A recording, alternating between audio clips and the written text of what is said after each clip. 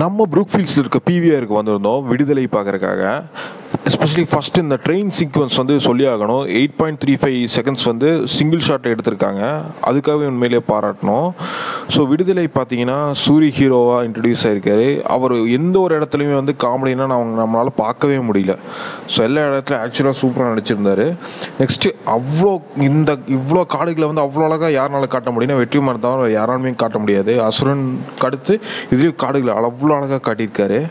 So மற்ற castings எல்லாமே super Vijay Sethupathi ஆப்டாக சூட் ஆயிருக்காரு. படம் ரொம்பவே நல்லா இருந்துச்சு. ஃபர்ஸ்ட் ஹாஃப் வந்து பார்த்தீங்கன்னா லவ் சீன்ஸ் அதிகமோன்னு தோணுச்சு. ஆனால் அது அப்படியே செகண்ட் ஹாஃபில் அதுக்கோட அர்த்தம் புரிஞ்சிருச்சு.